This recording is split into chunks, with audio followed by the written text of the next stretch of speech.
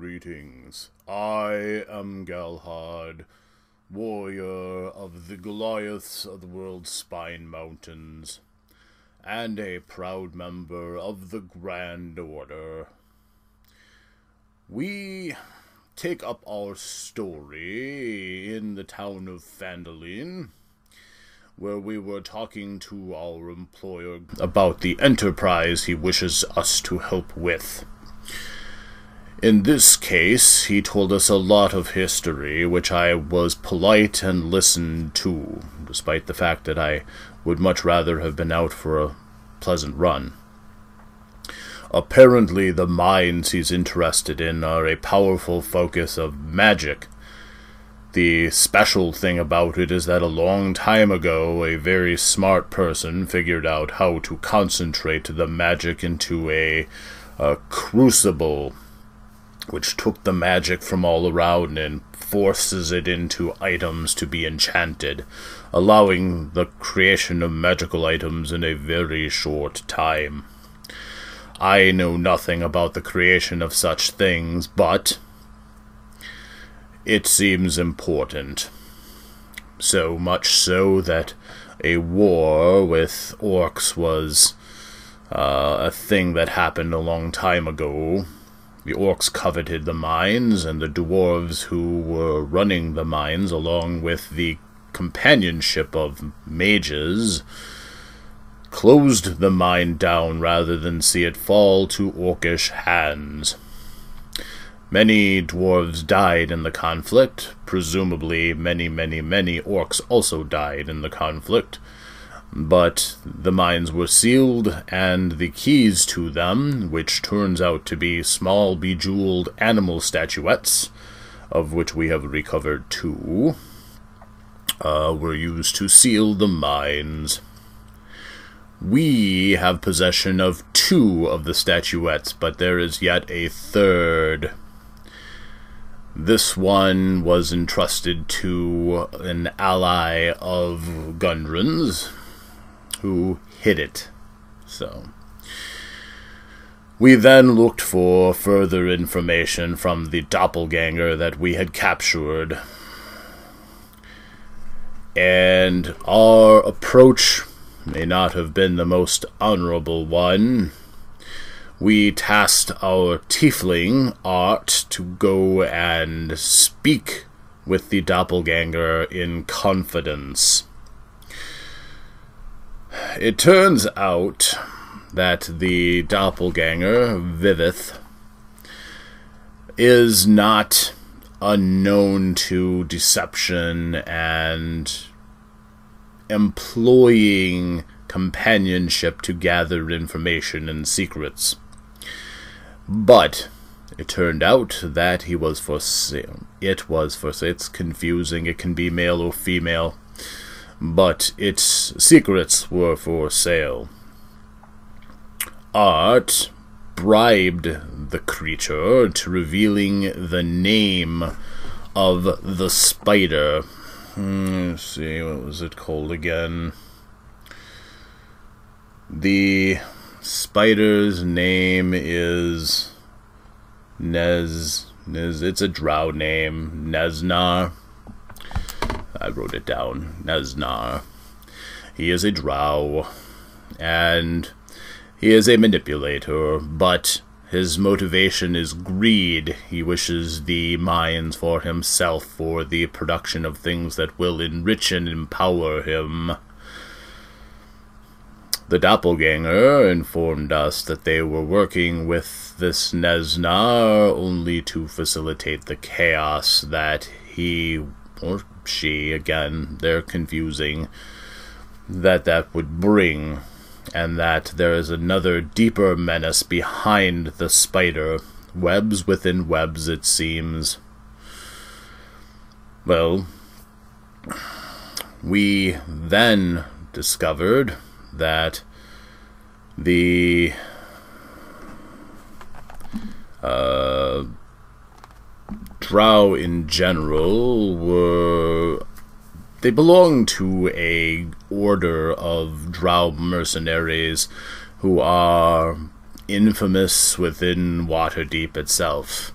the Bregadurith, Brainadurith, something like that. It's it's drow stuff.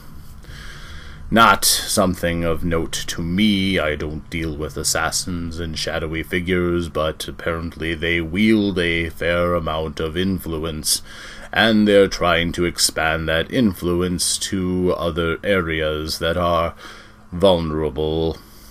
So, we found out that we have much work to do, but we are not directly working against this order, so we had tasks in front of us. We went to talk to uh, Rosaria because we are interested in going to Conyberry to talk to the Banshee, who is a diviner of sorts, to find the location of the spell book that the Harpers require to procure the services of the Banshee, she gave to us a jeweled comb. Apparently, this Banshee is vain and longs for things of value, but not of great worth. Fair enough, I suppose.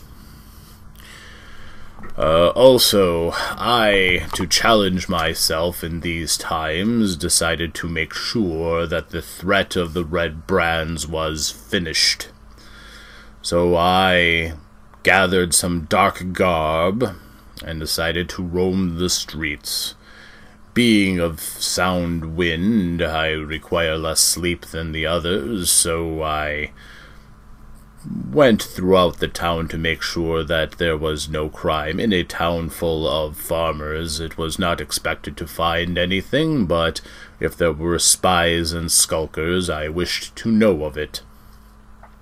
I found one, but not what I expected.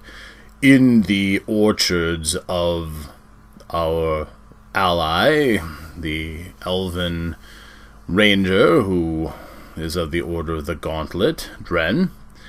I found a skulker in disguise, dressed as a two legged sheep. Not very good disguise, mind you. It turned out to be the diminutive. I'm working on new words. Goblin Droob, who we had encountered in the uh, manor under the dungeons beneath which is now our manor.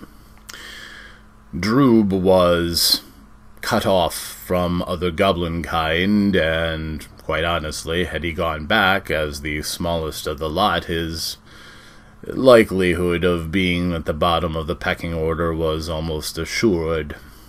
However,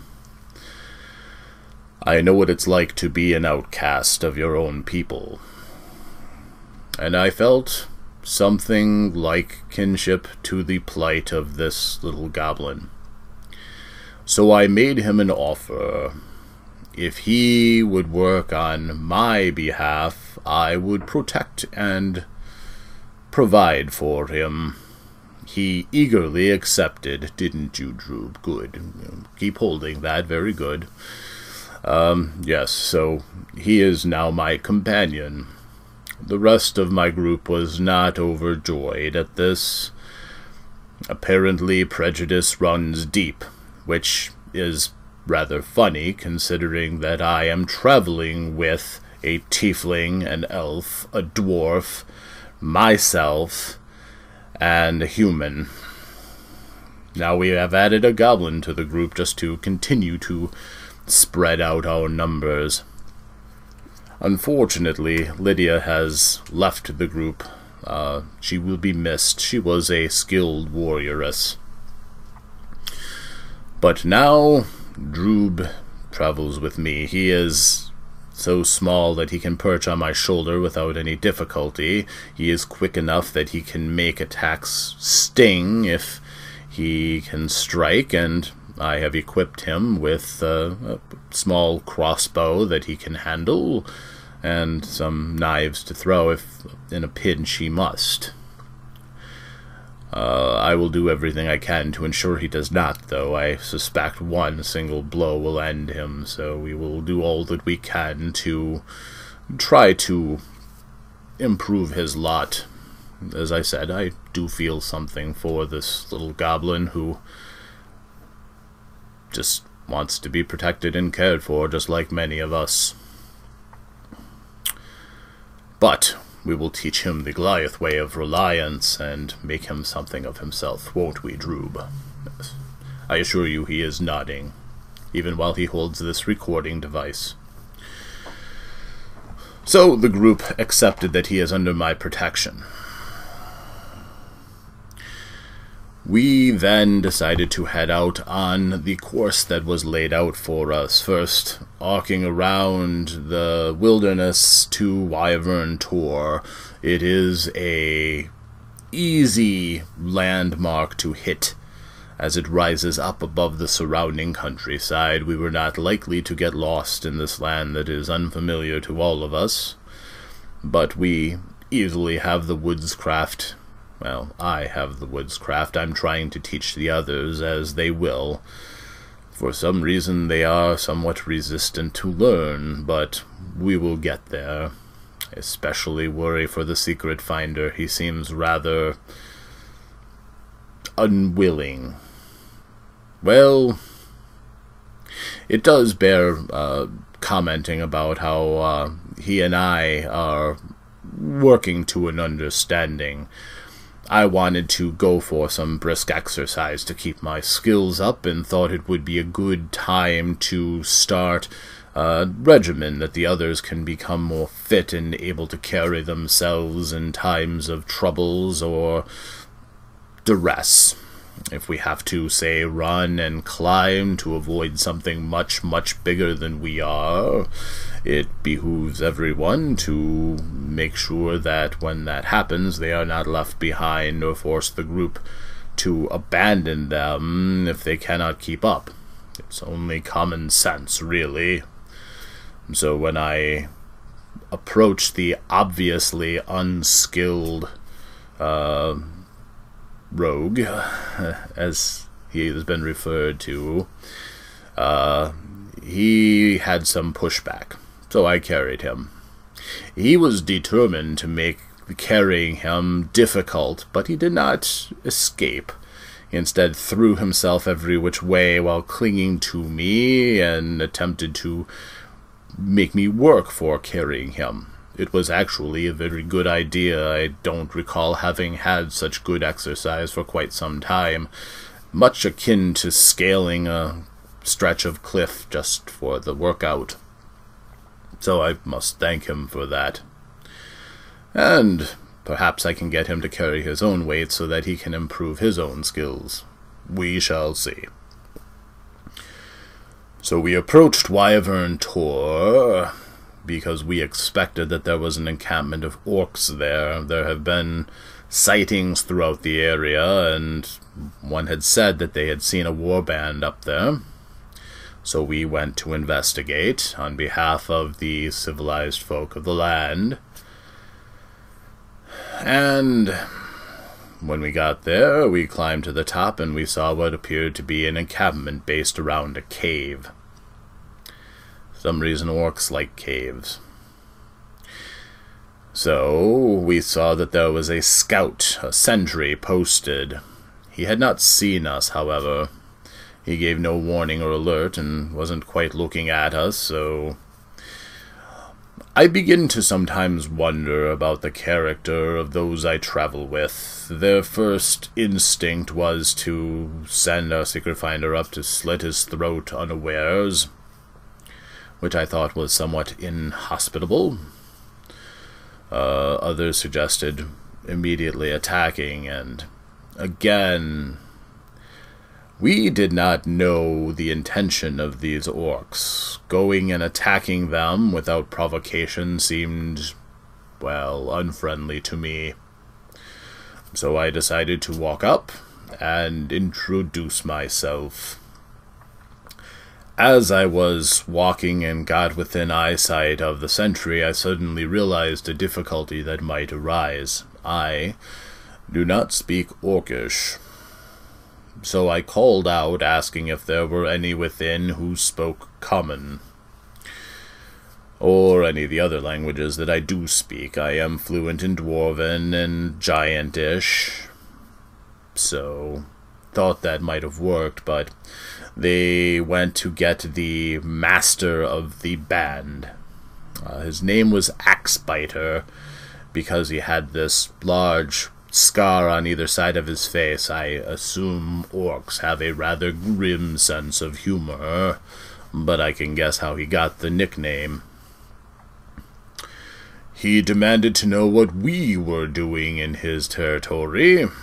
We averred that this was not his territory, it was the province of the human civilizations in the area, the combined free peoples around Waterdeep and the holdings around it, and that we wanted to know their intent. He made it clear that his intention was to rob and pillage and plunder, which gave me an immense amount of satisfaction in that everything that we did after this was justified. Uh, I, stung by his callous nature to those who are weaker than himself, allowed my focus to sharpen to a level that I've never had before. I sometimes have these moments where I don't remember every detail of a fight. This one was particularly foggy. Uh, I was told again by our healer that I drew my sword and charged directly at the Axebiter, hewing into him, which took him by surprise, as well as the rest of his group. Uh, at the same time, or actually slightly before, I saw a spray of blood the corner of my eye that indicated that our secret finder had ended the life of the sentry, off to the side quietly, but we knew he was there, so I knew, and I think that might have been the signal that I uh, went on. At any rate, next thing I knew, my great sword was in my hands, and I was hacking at this boss who was a skilled combatant. He took my best blows. Quite honestly, I was I, I do remember the satisfaction of getting incredibly good, solid shots in on him, which he weathered. Fair enough. The rest of my group also came in to attack the orcs. Uh, I don't remember every detail. The only thing I remember was taking a few blows which I did not feel from the from the Axebiter himself. Uh, I heard a few cries of pain and surprise as the orcs tried to fight back. The orcs had reinforcements. A large ogre was hiding in the caves in reserve. He came out and immediately set off for our hammer dwarf. Apparently, dwarves aren't very popular in these parts, especially not with orcs and ogres. And he was quickly swarmed. He did prove his skills, taking down an orc and perhaps damaging one or two others, so I guess he did all right. Um, Art flung his bolts of damaging arcane energy at the orcs, I believe that uh, Trig, our secret finder, darted in and ended a, an orc or two upon his rapier. He's you know, quite skilled when he's got somebody helping him out. I broke the leader with another resounding slash, turned and ended another orc as he was attempting to run away, and then slaughtered the the third one that was on me. Uh, again, piecing this together from talking with the others about exactly what happened. Uh, their blood is, yes, I need to wash up a bit. But uh, finally, there were but two orcs, and one of them was attacking our healer. I, my choice was clear. Uh, I again was told exactly what happened. I went up behind the orc, grasped him by the back of his armor, picked him up, and slammed him onto his head. Orcs have thick skulls, it is true. That did not finish him, but as he was at my feet, I dropped down onto his chest and ended him.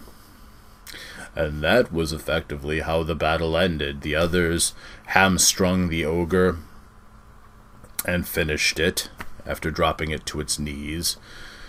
Um, not much more to say about that. Uh, it was a good fight. Challenging enough fight, I suppose, but one that's ending was never truly in doubt, I don't think. Uh, the the ending of it was our healer cast a spell and slowly um, mended our wounds. It's a it's an impressive enough spell. Uh, almost all of our damage was was healed afterwards, so I'm feeling quite well, even if I'm still wearing the blood of my enemies. From here, it's a straight shot down to Conyberry, where I suspect our adventures will continue. As we continue on, I will make more recordings with Droob, right, Droob? Yes. And surely we will continue to spread the word that the Grand Order is making this a better land for all. Wish me luck, Tymora. You have been with me this far. I can only wonder where you will take me next. Thank you to those of you who are witnessing this through this miraculous recording device, and hopefully I will have great deeds to tell you of in the future. Thank you and farewell.